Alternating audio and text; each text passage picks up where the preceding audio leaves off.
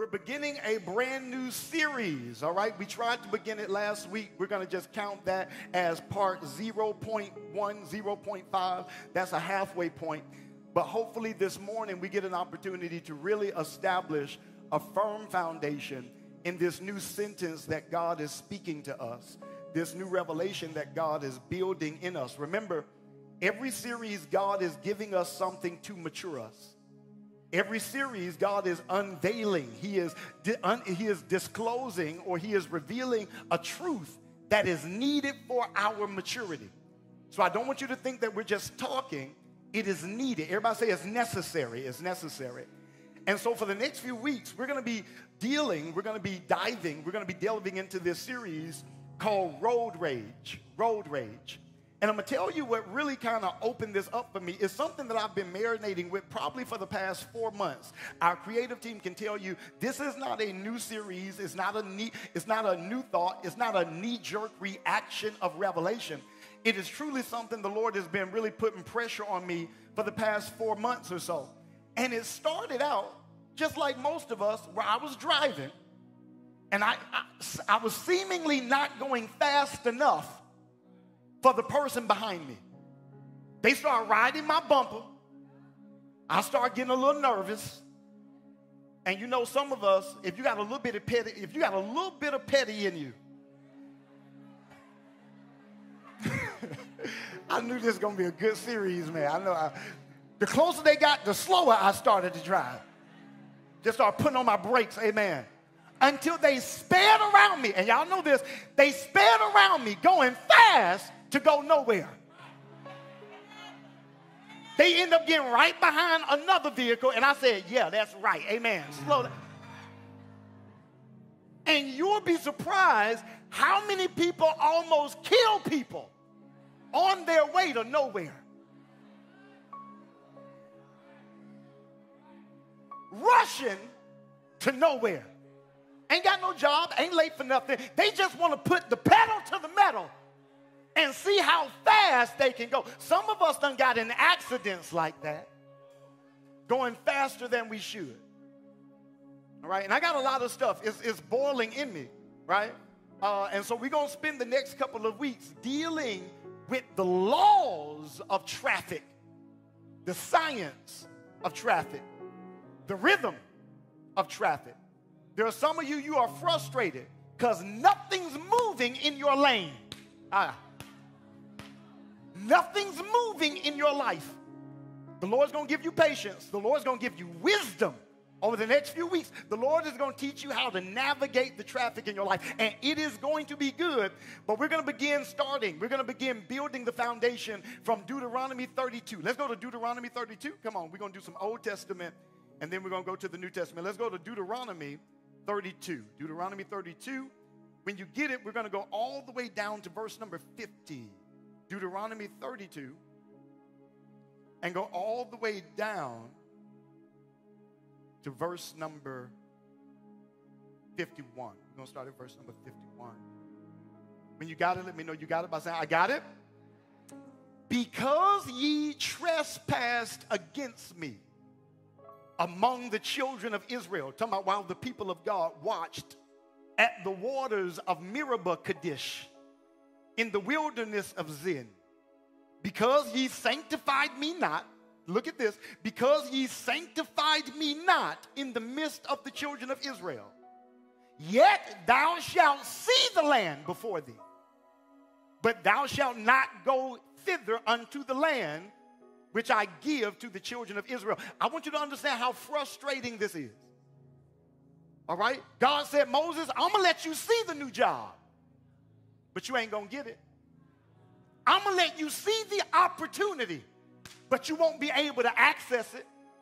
All because you did not sanctify me in the midst of the people. Now, if you're reading this for the first time, you may be asking, what did Moses do? What would make God give him this type of punishment in order for us to understand this? Let's go to Numbers chapter 20. Let's go to Numbers chapter 20. Numbers 20.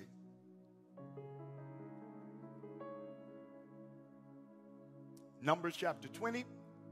When you get it, let's go down to verse number 7. Numbers 20, verse number 7. And the Lord spake unto Moses, saying, Take the rod and gather unto thou the assembly together. You and Aaron thy brother, and this is what I want you to do now. I want you to speak ye unto the rock before their eyes, in front of them. Show them the power of your mouth. And it shall give forth water, and thou shalt bring forth to them water out of a rock. So thou shalt give the children of Israel, the congregation, and their beasts, their burden, their businesses to drink. And Moses took the rod from before the Lord as he had commanded, and Moses and Aaron gathered the congregation before the rock. And he said unto them, Hear now, ye rebels, must ye fetch you water out of this rock? And Moses lifted up his hand, and with his rod he smote the rock. Not once, twice. And the water came out abundantly. Uh oh, look, it looks like God blessed it. Looked like God rewarded it. And the congregation drank, and their beast also. Verse number 12. And the Lord spake unto Moses and Aaron and said, Because ye believed me not, to sanctify me in the eyes of the children of Israel. Therefore, ye shall not bring this congregation into the land which I have given to them. Tell somebody, I love the word. I love the word. I love the word. I love the word. Come on, one more verse. Let's go to Matthew 11. Matthew 11. Matthew 11.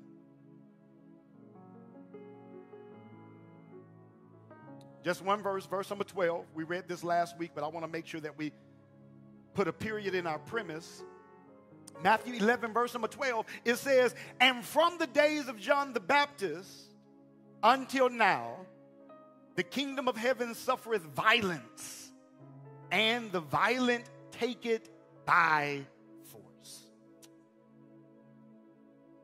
I want you to know unequivocally. Now, I, now I'm saying this without any hesitation. I'm saying this without any question. Hell does not like you. The enemy does not like you. Hear me. Sin does not like you. I can say that with confidence. But you know what I can't say with confidence? That you don't like sin. I know hell don't like you, but how do you feel towards hell? There are different degrees of hatred. There are different degrees of anger in the room. Over the next few weeks, it is God's responsibility, it is God's desire to give you his heart. And that also includes his anger. And God is going to teach us how to be godly angry and how to maneuver and move through it. Father, teach us how to war. Teach our fingers to fight. Teach us how to manage our anger, our rage, and our bitterness so that it would not break us. Teach us how to harness it for our assignment. Father, we thank you for clarity. We thank you that anger would not blur our vision. Give us peace, a drama free life. That's what we're asking. We thank you for wisdom. It's in Jesus' name that we pray. Come on, everybody say amen.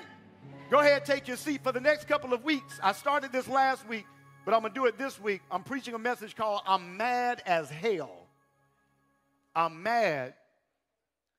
I'm mad as hell. Now, I don't want you to get um, uh, taken aback. I don't want you to get nervous when I say that because I'm not trying to cuss. I'm not trying to be crude. What I'm trying to communicate is that in order for you to be successful, you have to be just as mad as hell is, let me say it again. In order for you to be successful, you have to be just as mad at hell as hell is mad at you.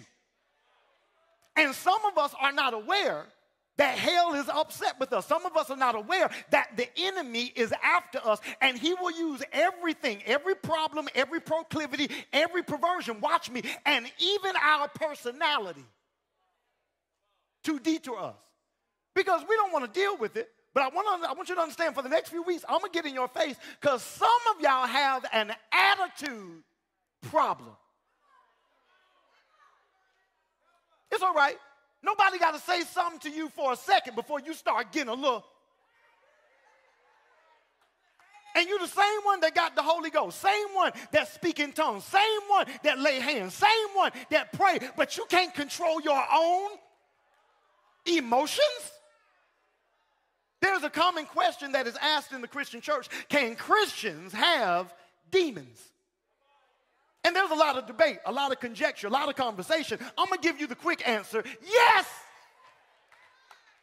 There's a whole bunch of people that you sit next to that worship with you, pray with you, study the Bible, but they still cannot control their anger.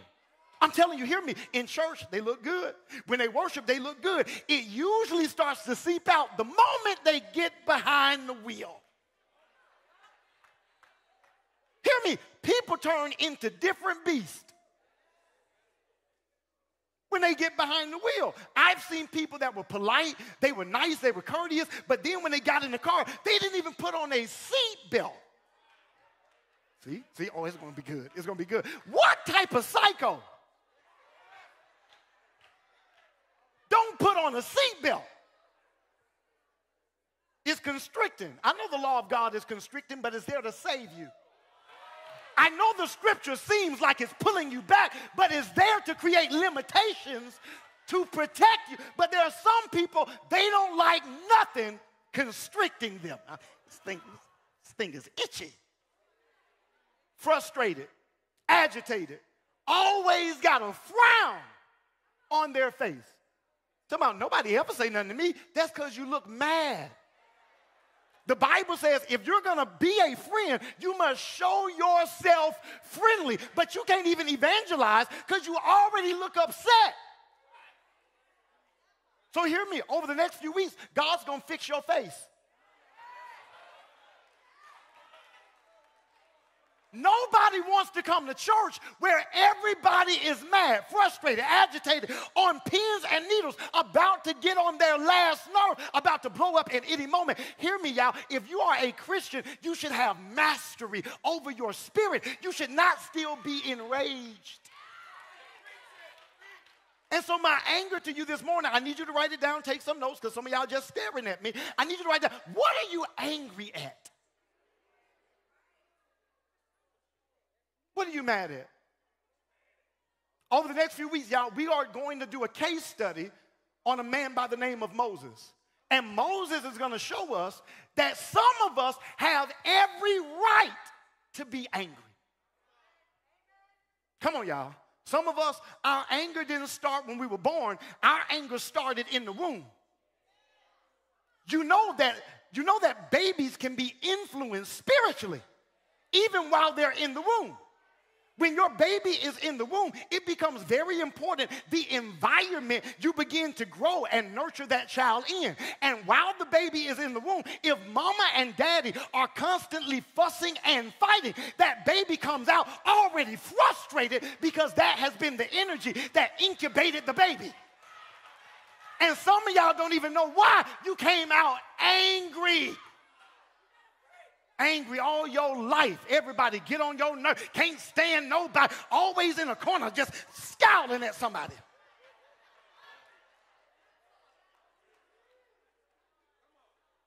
God ain't doing nothing. You ain't happy? I am happy. They angry so much, their happy face is still angry. Come on, you can't be that ugly. Come on, smile. You telling me God ain't been that good? God ain't done nothing. God ain't opened doors. God ain't healed your body. God ain't made a way out of no way. God ain't giving you stuff that you didn't deserve. You telling me you can't smile? Mean saints, nasty saints, angry saints, just ready to bite the head off of any unassuming Christian.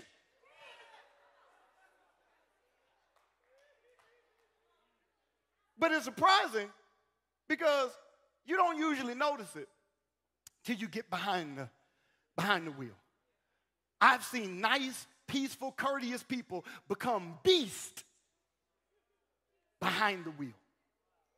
Going faster than their, hear me, going faster than their skill level.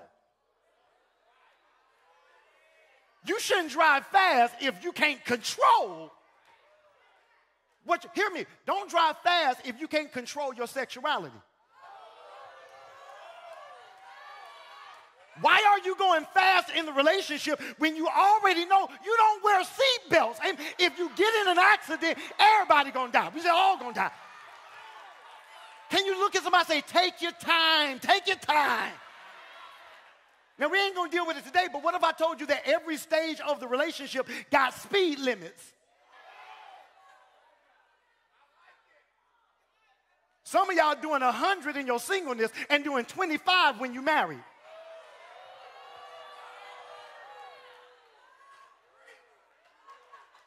Come on now. Don't put your foot on the gas when you're single and then pump the brakes when you're married. So we're going to be dealing with this, and I can't wait, y'all. I'm so excited because I want you to understand that all anger is not bad. And so one of, we, one of the things that we're going to be doing over the course of the next few weeks is distinguishing and discerning the difference between godly anger, come on, y'all, write it down, godly anger and ungodly anger. Godly anger leads to godly action. I want you to write that down. Godly anger leads to godly action. If you are angry, if you are, if you are, if you have what they call righteous indignation, if your anger is activated by something holy, by something righteous, by something godly, it will always lead you to righteous action or godly action. Are y'all here? But ungodly anger will always lead to ungodly action, and ungodly response, and ungodly reaction. So we want to make sure that we bring a distinction between godly anger and ungodly anger. So we got a few assignments, y'all. I want you to write this down. We have a few assignments, and we want to make sure that we hit all of our goals and all of our objectives in this series. The first goal and objective we have is to establish a biblical worldview of anger. Now, come on. Christians are so confused, we don't know the difference between self defense and murder.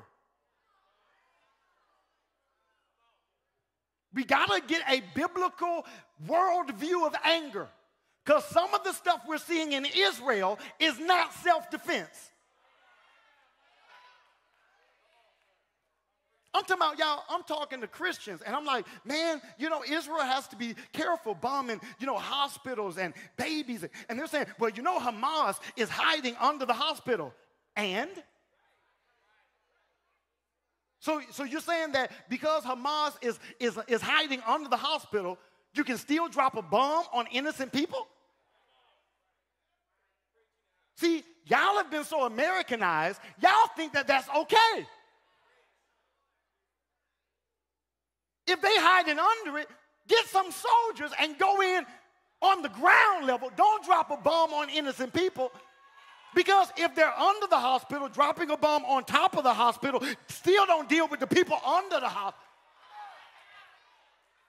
I'm too political for you. I'm sorry. Too global for you. I'm sorry. We got to get a biblical worldview on what it looks like to be angry.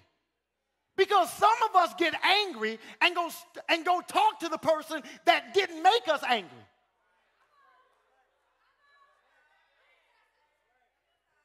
But if it's godly anger, it should lead you to godly action. And godly action is not to go to the person that didn't make you angry, it's to go to the person that's quiet. How do you think that the issue is going to be dealt with when you go to the people that didn't make you angry and the people that didn't make you angry just make you angrier? Go to the origin of the anger. So we want to look at a biblical worldview. I want God to establish a biblical worldview of anger so that we can have, watch this, I want you to write this down, so that we can strive for healthy emotional expression. Healthy emotional expression. You too old to still be having temper tantrums.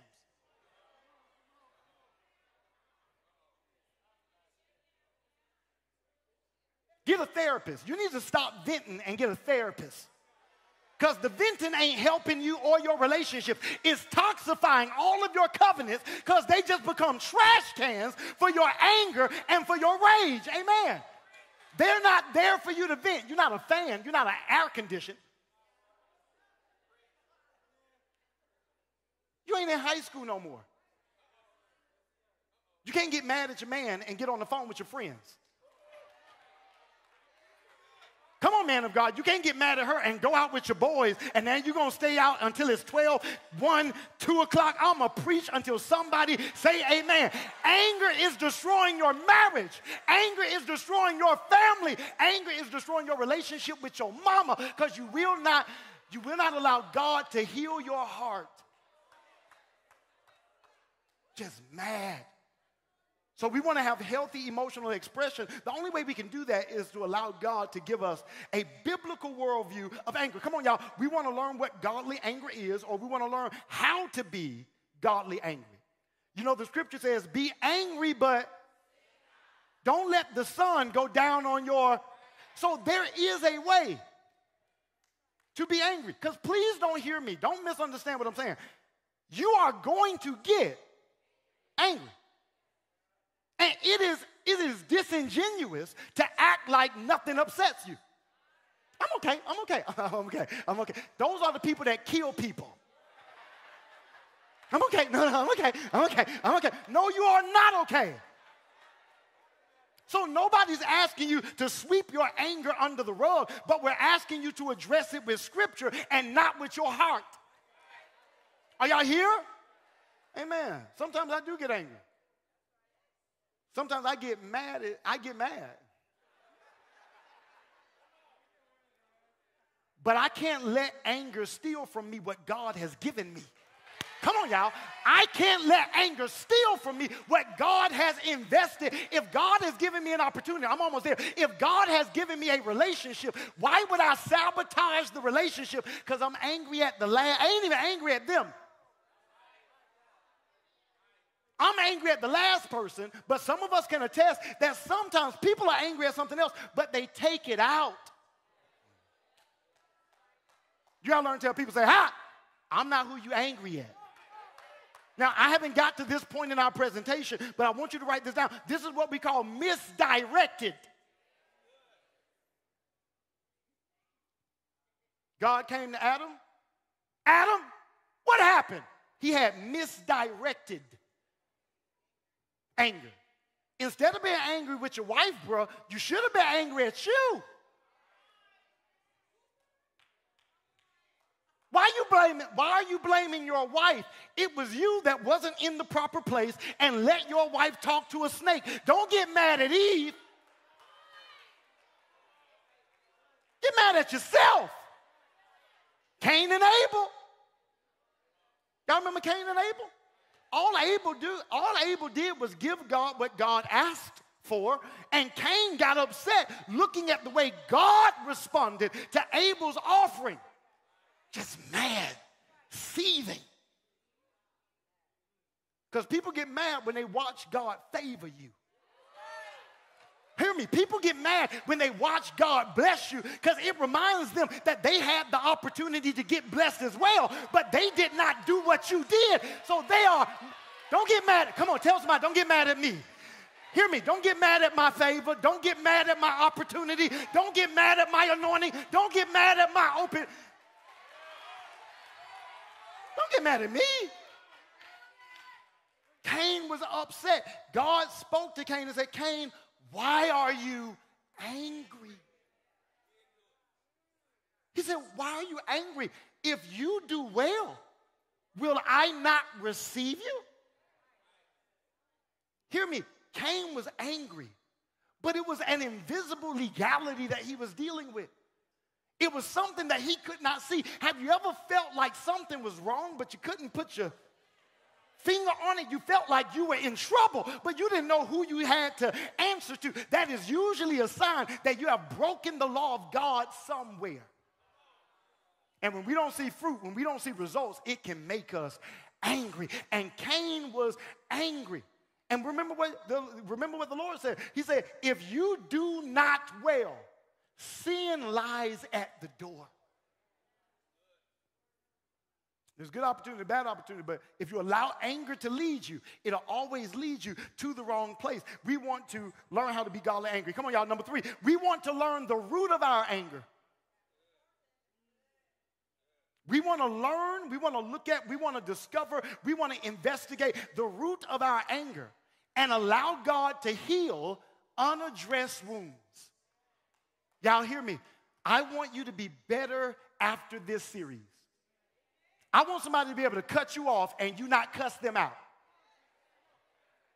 You say, Pastor, how do I know if this series is working? How do I know that I've grown? Because you become a lot more peaceful when people drive crazy. Now, I'm not just talking about physically driving, I'm talking about people that come in and out of your lane. I mean, in and out of your life. Amen. You, don't, you do not get distracted or discouraged based on their traffic, based on what they do. All right. We want to arrest rage. Come on, I want you to write this down. We want to arrest rage before it matures into murder. We want to arrest, you know, the Lord spoke to me, y'all, because um, uh, it's been just this year alone, just this year. Not talking about last year uh, or a year and a half ago when my car was stolen. I'm talking about just this year, my car has been broken into three times. Three times. And the Lord, somebody laugh. Jesus. Glad I got peace. No, I'm saying that because I was praying and the Lord was ministering to me. Because the last time they stole, uh, the last time they broke into my car, they stole my book bag. And in my book bag was my passport. So I'm sure they're going through it. They find my passport. They see my name, right? And I'm sure, maybe, maybe they search my name. Maybe they're trying to do some identity theft. Anytime somebody breaks into my car, I'm gonna start making messages for them on Instagram. Just in my story. So when they look me up, I'm like, I know it was you, type of deal. But I'm getting angry, I'm getting upset. And the Lord spoke to me and said, you know, there's people in your church that break into cars too.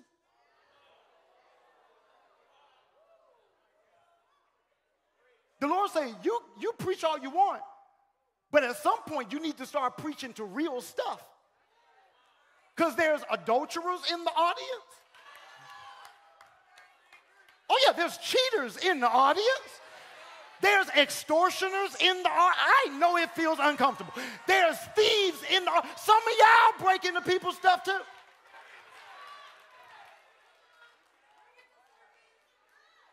I'm gonna come over here. They said I don't come over here a lot.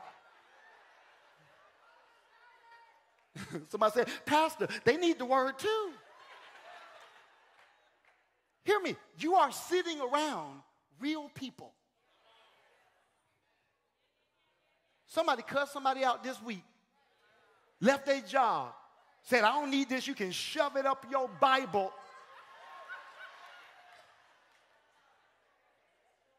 And I want you to understand, hear me, God sees you. Whether you're a thief or whether you're a female abuser, God sees you. Please don't think that we're skipping over you or neglecting you or somehow we don't. No, we know you're here. There's all type of people. But not just, hear me, hear me, not just thieves and cheaters. There's some murderers too.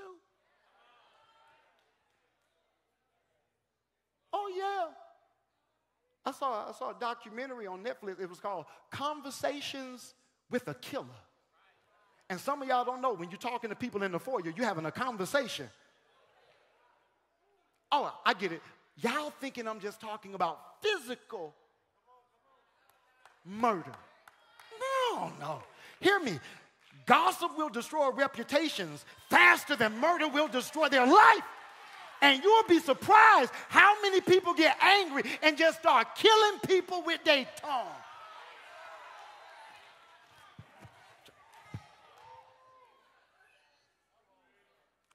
Oh, yeah, man. You know, I came into this church. I, I saw a girl, man. She looked kind of beautiful. You know, she lesbian. I didn't, but thank you for the information. Why would you tell me that?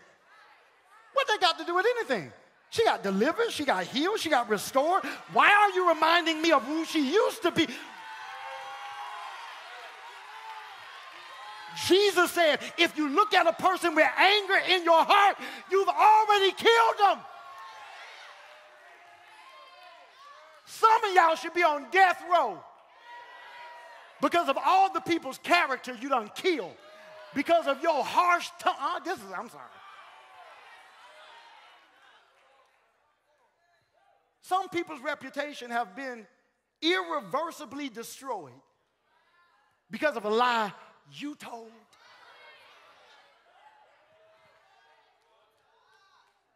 Hear me. There are things, I got to preach my presentation, y'all. There are things that God hates. I want you to go to Proverbs chapter 6. Let's go to Proverbs chapter 6. Y'all here? Let's go to Proverbs chapter 6. I just, I just got to lay a foundation. There's a lot of avenues, there's a lot of uh, intricacies, there's a lot of roads I can travel, but just allow me to kind of flow freely as the GPS takes me where he wants to take. Let's go to Proverbs 6. Proverbs 6.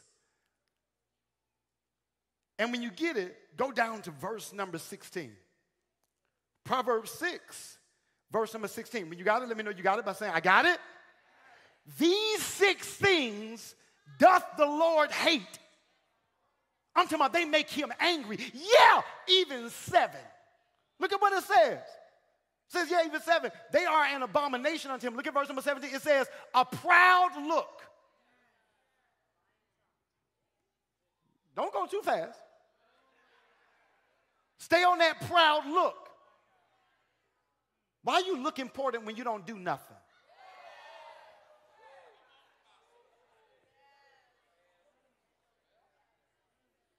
God hates a proud look. I did it myself. You sure? That associate's degree couldn't did that. That was only the favor of God. But you gotta Look how proud you are. Of what? What, what have you built? Who have you healed? When was the last time you got somebody saved? Did you invite somebody to church? Why are you so proud? What you proud of? He said, I hate a proud look. We got to keep reading. Verse number 17 says, A proud look, a lying tongue, hands that shed innocent a heart that devises wicked imaginations, feet that are swift. What they say? Who got the key? You going to the club? It's, it's amazing how fast you move towards mischief, but if somebody, you waking up going to church? You going towards purpose?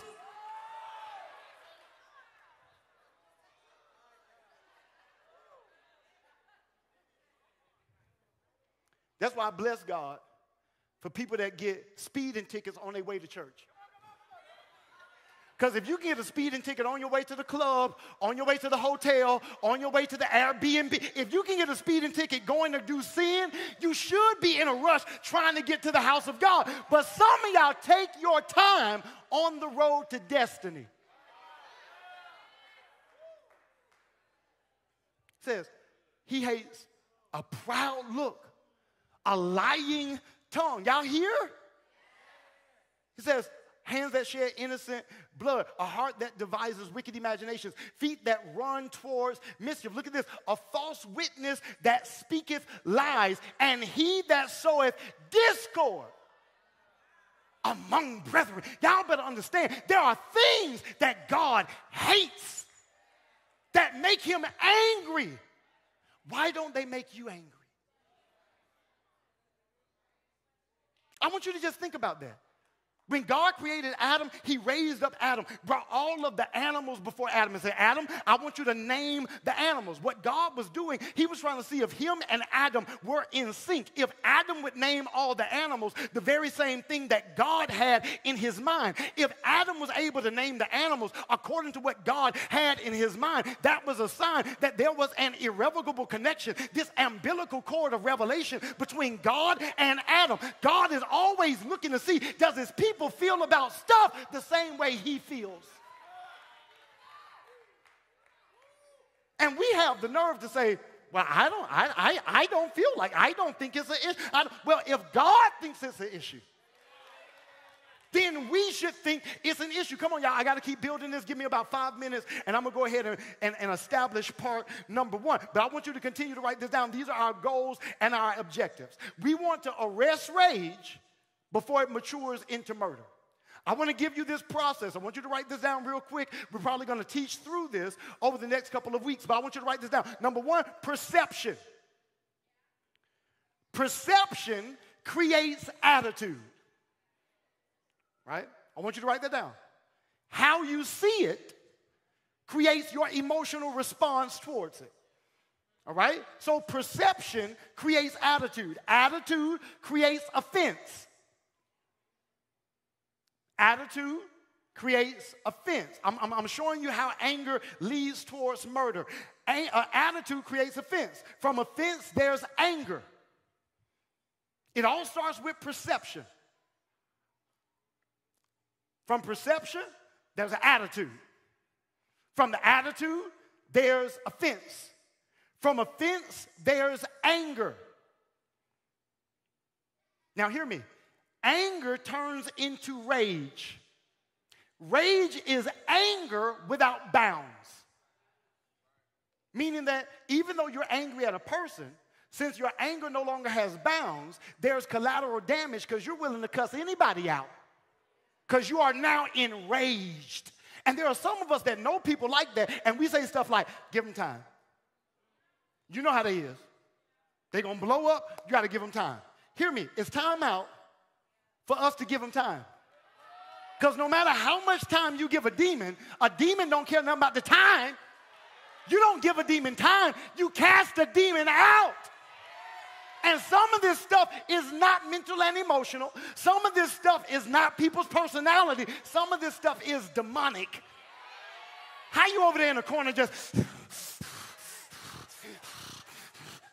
You all right? It was over some years ago, and you.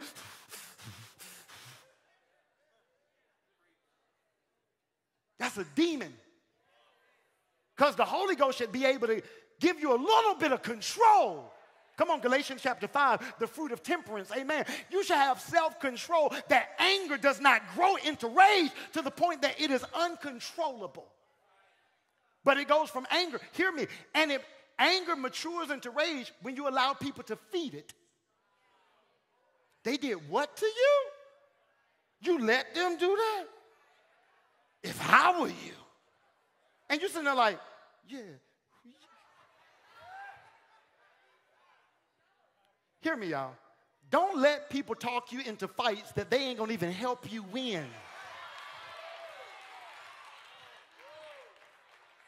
They gonna be gone. The moment you go, like, yeah, did you say?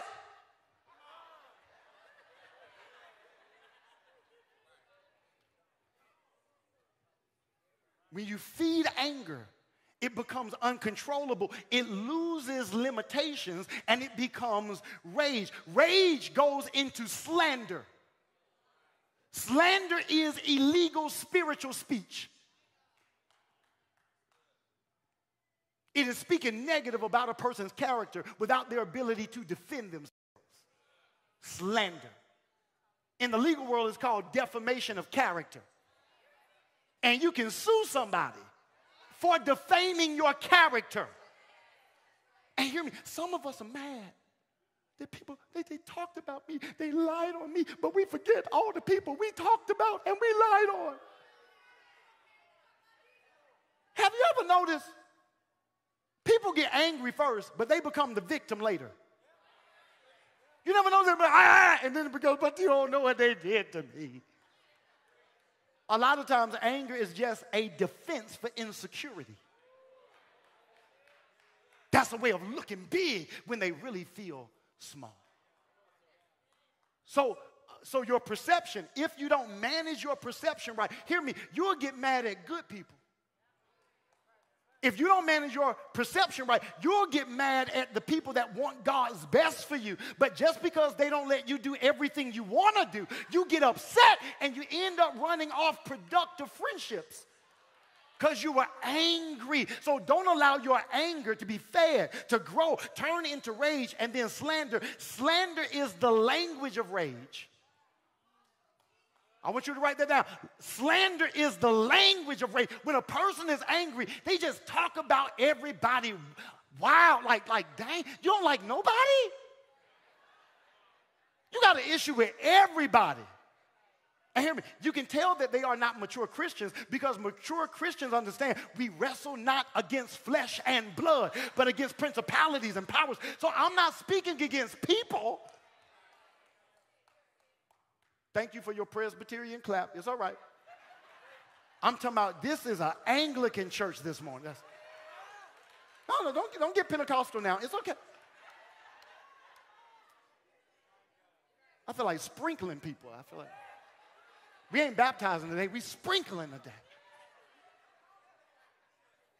It's amazing how saved we are, but how angry we are.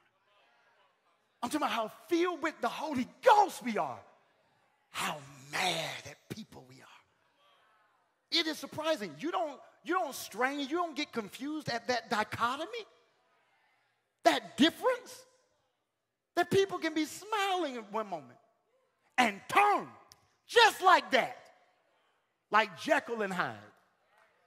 Holy one moment, crazy the next.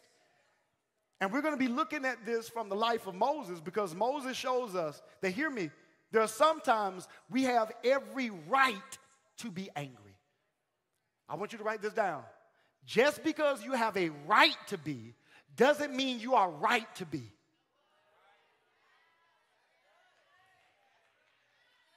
Did you hear what I said?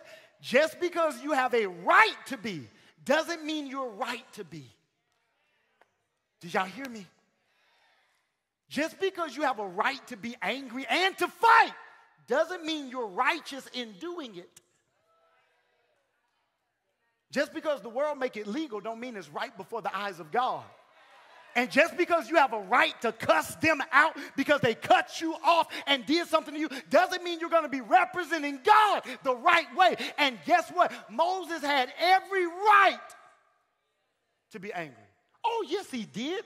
He has grown up through being an orphan, through being adopted, from being rejected and abandoned. He has every right to be angry. Yet God says, control your anger. Come on, God. Come on. I'm not talking about the stuff people put me through. I'm talking about the stuff God put me through. You allowed me to be born here, and you allowed this person to do this, and you allowed this, and you allowed this. I ain't mad at everybody else. If we could be honest, there are some people in the room, you are mad at God.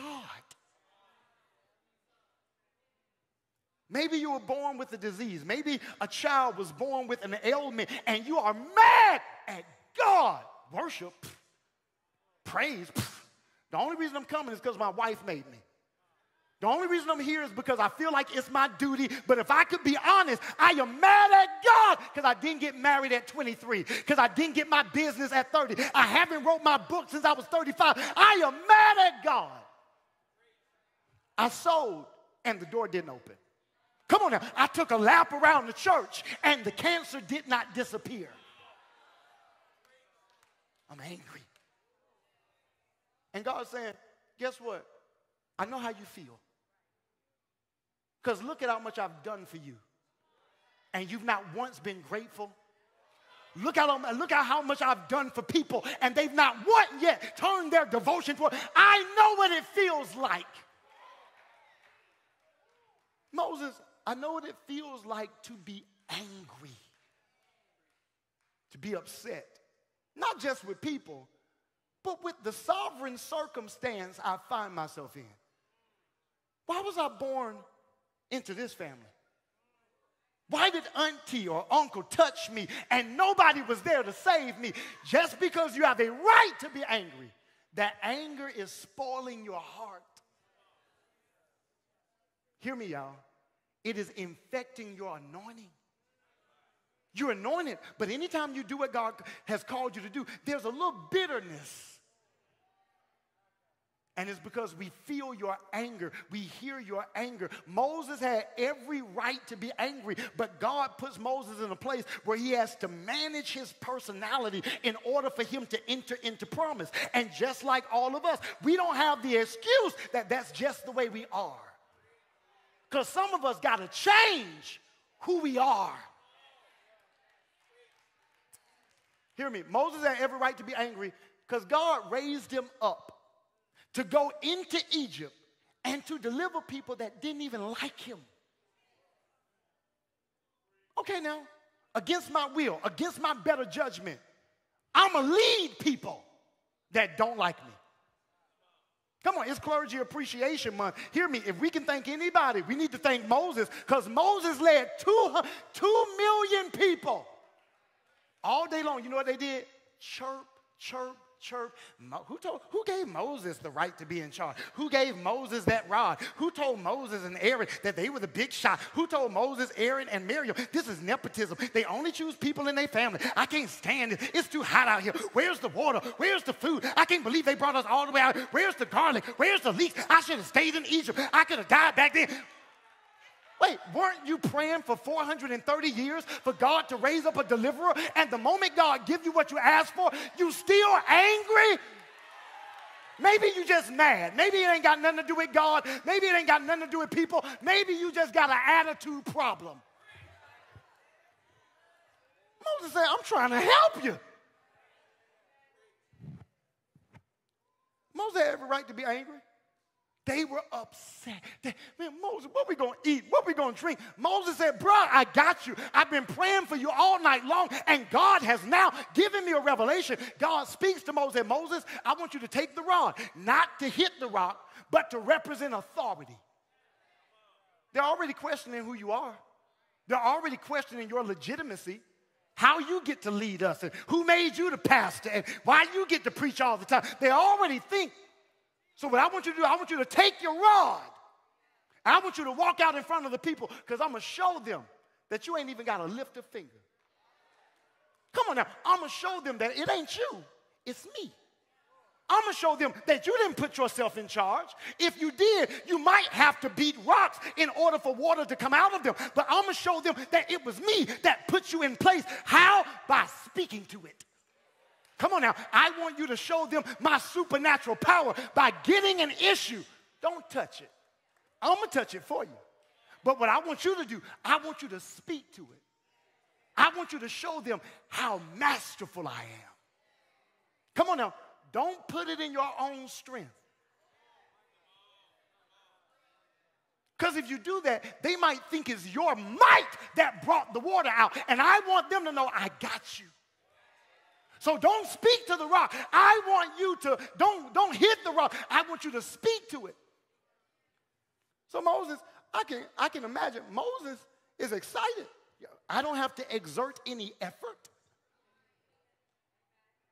You're going to give me the job without any sweat.